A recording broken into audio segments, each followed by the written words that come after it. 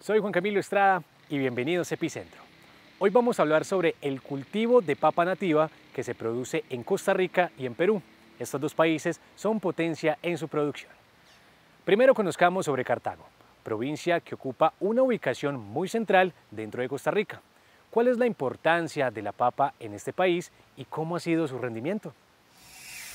Cartago, una de las siete provincias de Costa Rica, ubicada en el extremo oriental de la región central de este país. Disfruta de un clima particular, influenciado por el Caribe y el Pacífico.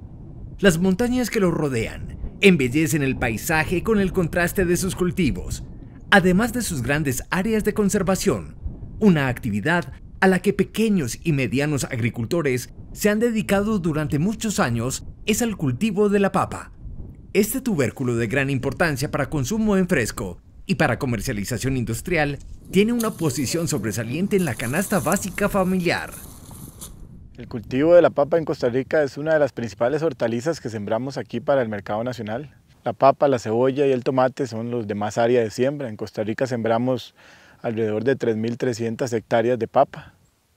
Las principales variedades que sembramos son tres, la floresta, la granola y una roja que se llama la única.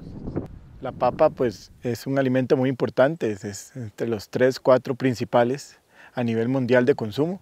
En Costa Rica se consume bastante, tenemos un consumo promedio de 4.000 a 5.000 eh, toneladas por mes. Ese es el consumo aparente que tenemos en el país y prácticamente las siembras que hacemos es para abastecer el mercado nacional.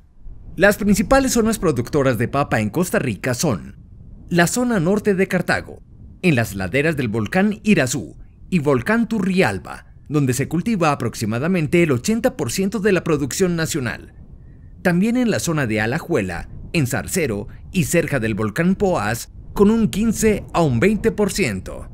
El rendimiento, la producción promedio por hectárea del país anda de 23 a 25 toneladas. Tenemos meses, épocas de siembra de mayores rendimientos y otras épocas de siembra de un poco menor rendimiento. Eso principalmente porque Costa Rica produce papa durante todo el año continuamente. Según la FAO, la papa a nivel mundial ocupa el tercer lugar como el producto alimenticio después del arroz y el trigo. En Perú es considerado uno de los cultivos más fuertes y con más variedades únicas. Conozcamos un poco más sobre este lugar. En Perú, gran parte de la población rural depende económicamente de la agricultura a pequeña escala, siendo la papa el principal cultivo en superficie sembrada y con mayor diversidad en el mundo.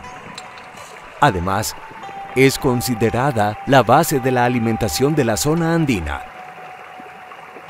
Cuenta con aproximadamente 8 especies nativas domesticadas. De las 5.000 variedades de papa que se cultivan en el mundo, cerca de 3.000 se encuentran en Perú. Actualmente, la papa es el tubérculo más importante a nivel mundial su siembra se realiza en más de 100 países. Es consumida por millones de personas alrededor del mundo y es considerada uno de los alimentos con mayor nivel de carbohidratos. En la zona andina peruana se encuentra el distrito de Umari, quienes producen sus cultivos de papa respetando sus tradiciones, con el objetivo de contribuir a la conservación y valoración de las semillas nativas y así formar la seguridad alimentaria en la región. En la zona andina peruana se encuentra el distrito de Umari, habitado por familias agricultoras quienes producen sus cultivos de papa priorizando sus tradiciones. Edgar Orizano es un agricultor peruano que nos enseña algunas de las variedades nativas que allí se cultivan. Esta papita Parece que, parece que no pueden, para no, para no comer áspero esta papa. Bien, mira, bien áspero. Pero esta papita si también se llama, mi abuela decía corao, corao. Esta papa se llama corao. Papa antigua, esta papa nativa. Es papa cuando la abrimos, la, le, le partimos, bien moradita sangre, bien moradita. Mira, mira esta papita, bien moradita, bien morada. Este se llama curao papa curado, papa nativa también, papa nativa, linda papita, bien, bonita, esta es mi papa rica. Sí, la consumimos también, sí consumimos. Ya sigo con la papa. Este, y, este llama papa mano de carnero. Mano de carnero, es el nombre de la papa. Pero se llama, esta papita se llama Shutipa Maki. Shutipa Maki. Este es papa bien arenoso. Este sí no tiene color en el, este, en el dentro. Este es color blanquita. Voy a partir también esa papita, voy a partir. Ahí, ahí está, mira, esa papita blanquita también. Esta es papa Shutipa Maki, más, más conocido. Nosotros como le llamamos en quechua, ¿no? Shutipa Maki, esta papita. Esta papa es también rica, harinosa esta papa. Otra. Esta papita este se llama, este, esta papita se llama Ishkopuro. Ishkopuro en quechua, ¿no? En castellano se llama también igual, Ishkopuro nomás, todavía Ishkopuro nomás se llama. Este papa es bien rica, harinosa, en Pachamanca, lo que sea, pues, papa rica también es harinosa. Este también es corazón medio amarillo. Voy a partir. Mira, rica papita, mira esa papa, ese es Ishkopuro, más conocido, Ishkopuro. Esta papita, papa, tiene dos colores, negro y blanquita. Este papa se llama este, como amarillo, este, papa simita peruana, ¿no? Dos colores, pero son dos colores. Pero ese papa le dicen más, más conocido, como mis abuelas decían, Husang Magasha. Husang Magasha porque es papa negriata. En castellano, alguien en su familia, la pegada a un similar, ¿no? Una persona a una mujer, le puede pegar a un varón, le puede arañar, ¿no? Ahí está, por está negreado es papa. Esta es papa blanco, corazón blanquito. Ahí está, mira, corazoncito tiene moradita. Corazoncito rayadita, moradita. Porque todo corazón la pegada, y en este caso pegada encima también, la pegada todo corazón. así es, así es. Es increíble la variedad de papas que pueden existir. En lo personal me gustaría probar la papa nativa Curau por su aspecto tan particular. Ahora vámonos para la ciudad de Cartago, en Costa Rica, y conozcamos a Carlos Segura, ingeniero agrónomo que nos contará sobre las variedades principales que cultivan la floresta y la granola. ¿Sabían ustedes que la variedad floresta es propia de Perú? Estamos ubicados en las faldas del volcán Irazú, en Finca La Floresta. Aquí estamos dedicados a la siembra de papa para semilla y papa para consumo nacional, también papa para empresas que producen papas chips las variedades principales que sembramos nosotros son la floresta y la granola. La floresta se caracteriza por ser blanca, este, piel blanca, su flor es blanca, tiene un crecimiento bastante alto. El promedio de, de la época, el tiempo que dura la siembra en Costa Rica es alrededor de cuatro meses en estas zonas. También sembramos la variedad roja, se está ingresando un poco en el mercado para consumo, ella es cáscara roja, piel amarilla, se usa para papas chips y se está introduciendo al mercado para consumo fresco también. Ella se caracteriza por tener la hoja un poquito más oscura y una flor lila. La variedad floresta proviene del Centro Internacional de la Papa ubicado en Perú. Se cultiva en Costa Rica desde hace más de 25 años cuando fue inscrita en la ONS, Oficina Nacional de Semillas, y gracias a su adaptabilidad y productividad se da en varios pisos térmicos, esto la convierte en la preferida por muchos agricultores. Las dos variedades tienen casi los mismos requerimientos, trabajan bien, estamos por el tipo de suelos de Costa Rica, origen volcánico, hay que hacer muchas enmiendas con calcio, tenemos el fósforo retenido por el tipo de arcillas que hay en estos suelos y, y tratamos de liberarlo por el aluminio.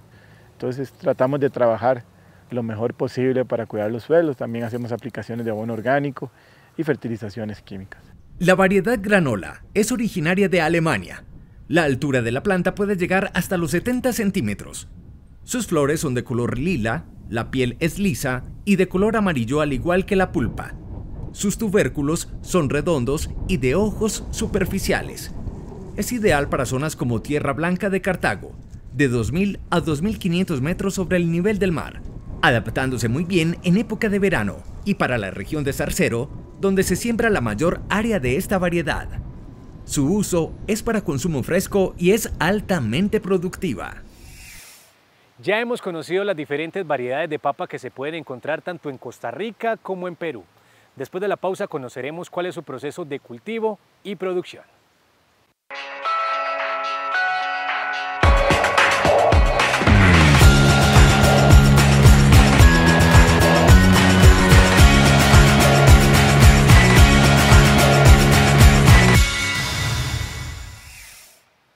Papa prefiere un clima frío y templado. Puede ser cultivada en diferentes tipos de suelos que varían desde los arenosos hasta los arcillosos, todos con diferente capacidad de retención del agua. Conozcamos ahora a través de Edgar cómo es el proceso de producción de la papa en el distrito de Umari, en Perú.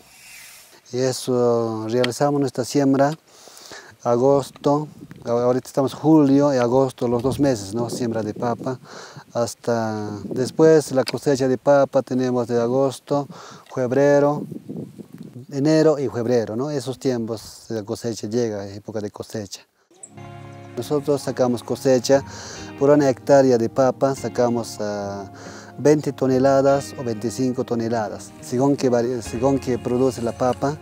Hay veces produce menos, entonces menos. Hasta 18 toneladas sacamos, porque hay veces produce bajo, ¿no? Y se produce bien producido, hasta 26, hasta ahí escuchamos. La papa, preparamos la tierra, jalamos el surco, después sembramos y después de, de mucho, de un mes media, crece la papita de la tierra, dos, tres hojas bota, ahí ya estamos, este, crece la maleza, entonces ya empezamos a un cultivo, ¿no? Cultivo, un primer cultivo, esa es una, una movida de papa, una movida de tierra en este caso, ¿no? Ahora, segunda cultivo, este, en, ciertos meses hacemos curación también, ¿no? De las... Ah, las bacterias, de gorgojos que siempre nos, dañan, pero entonces nos curamos. Cuando sale de la tierra, nos da dos, tres hojas bota, ya los, eh, lo curamos, ¿no? Para que no esté malogrando el, gusano o, rancha, puede ser, ¿no? Gorgojo de eso. De ahí ya, si papas va creciendo, va creciendo hasta dos, tres meses, tres meses ya estamos cerca de aporque, ¿no? Aporque es un cultivo, nosotros llamamos. De ahí ya sigue creciendo la papa, tres meses ya está tamaño de esta altura. Y ahí estamos de, contando de julio, julio, agosto, septiembre, ¿no? Está septiembre, ya octubre más, más grande. Ahora octubre, noviembre ya está pleno de, pleno de lleno de papa. Ahí aguanta un mes más, un mes, ya cae el flor, ya para cosecha ya no. Entonces cae el flor, ya, ya no le dejamos de junigar, ya le dejamos de cultivar. Ya ese papa ya, ya madura el sol, ya, ¿no? un mes, un mes para cosechar. La meta del agricultor siempre será producir un cultivo de alto rendimiento y de buena calidad que responda a las necesidades del mercado al cual se dirige. Carlos, desde que se graduó de la universidad, se ha dedicado junto a su padre a continuar el legado de labrar la tierra y cultivar la papa. Poco a poco han ido creciendo y mejorando su producción. Son más de 17 años trabajando, él tiene 40 años en este cultivo y hemos ido tratando de desarrollar nuevas variedades. Por ello, una de, las que más se siembra lleva el nombre de la floresta, la, finca que sembramos, y en constante estamos evaluando nuevos clones promisorios del Centro Internacional de la Papa. Eh, la floresta en este caso vino del Centro Internacional de la Papa, la única también. Y también ahora estamos trabajando con empresas alemanas que tienen variedades propiedad intelectual para ver si podemos sembrar en Costa Rica y poder abastecer mejor el mercado de consumo fresco y de papas chips. Yo, yo tengo que trabajar aquí en esta finca como 20 años. De una, es una experiencia bonita y lo importante es que hay trabajo. Eso es lo importante es una zona que hay mucho trabajo en agricultura. Costa Rica tiene condiciones particulares para la producción de papa en cuanto a suelos y temperatura. Conozcamos cómo se caracterizan. En Costa Rica la papa se desarrolla en alturas entre los 1.400 y 3.000 metros sobre el nivel del mar. Requiere un clima frío. Las temperaturas óptimas para su crecimiento y tuberización se encuentran entre los 15 grados y los 25 grados centígrados. Esta planta es termoperiódica, es decir que la magnitud de la variación entre la temperatura diurna y la nocturna es aún más importante que la temperatura media diaria. Las plantas necesitan que las temperaturas desde la siembra hasta el inicio de la tuberización sean relativamente altas para ayudar al crecimiento de tallos y hojas. Aunque una vez inicie la formación de los tubérculos, si la temperatura sigue siendo alta, se reducen los rendimientos y la calidad de la cosecha. En cuanto a los suelos, deben ser permeables, con poca arcilla. Estructura que facilite las labores de preparación del suelo, manejo y cosecha. Se adapta a una extensa variedad de suelos, Son preferibles aquellos que posean una textura que favorezca la aireación, el drenaje y la penetración profunda de las raíces. Los suelos livianos presentan las mejores condiciones para el desarrollo del cultivo. En este caso son suelos arenosos de origen volcánico, con buena fertilización, son fértiles. Las condiciones de Costa Rica son, eh, la topografía no es muy plana, sembramos en las faldas de los volcanes, tenemos una topografía muy inclinada, sin embargo, casi que el agricultor hace el esfuerzo por hacer la preparación mecánica con tractor, utiliza arado de disco, arado de vertedera, arados de cincel, el rotavator, y con eso logra una, buena preparación de suelo, suelo suelto para sembrar. En el caso del surcado, los surcos los hacemos con tracción animal, con bueyes o con caballos. Formamos los surcos y ahí hacemos la siembra manual, igual que la cosecha, la hacemos manual por la topografía en que trabajamos en nuestro país. En la siembra, formamos los surcos, se hacen generalmente aplicaciones de, un granulado, algún hematicida insecticida, hacemos la, alguna la primera fertilización al fondo de surco y hacemos algunas curas con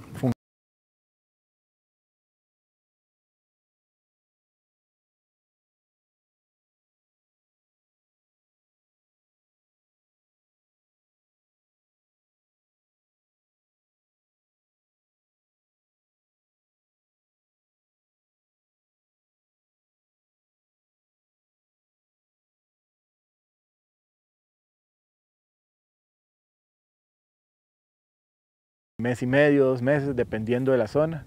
Hacemos la, porca, hacemos una segunda fertilización y en algunas zonas se puede hacer la, porca con, caballo o con bueyes, o ya donde es muy inclinado la topografía, pues se hace con, con un asadón. Acabamos de ver la importancia que tiene la temperatura y la calidad del suelo para el cultivo de la papa. Después de la pausa veremos cuáles dificultades puede presentar el suelo y cómo lo han solucionado. Ya regresamos.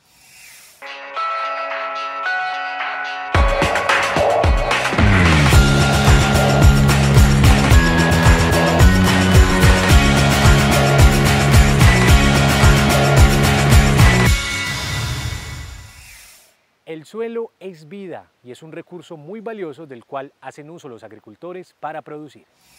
En él se realizan una serie de actividades biológicas que según la forma y el procedimiento de manejo que se le dé pueden resultar alteradas.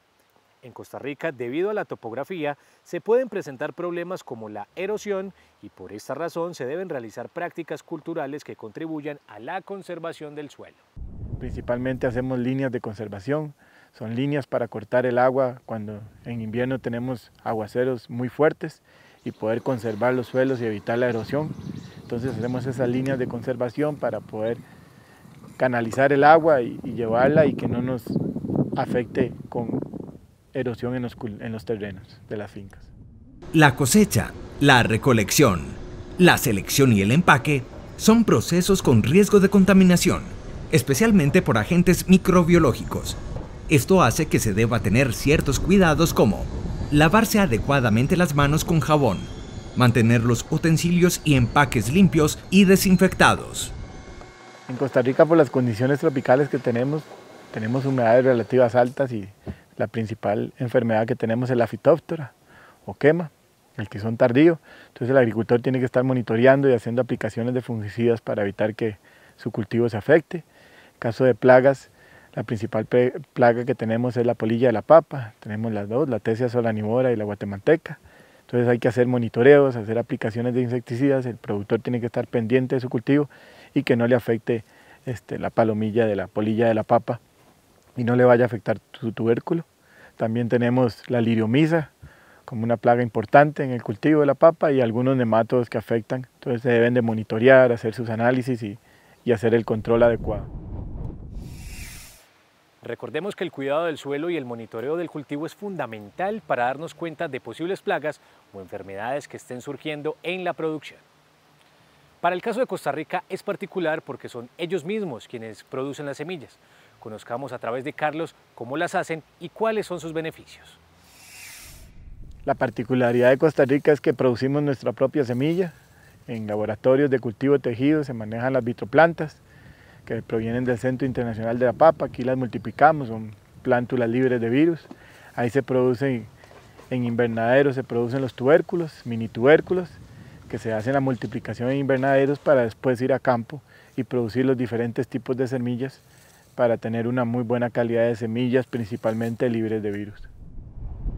En Costa Rica tenemos el Instituto Nacional de Transferencia Agropecuaria, que le llamamos el INTA.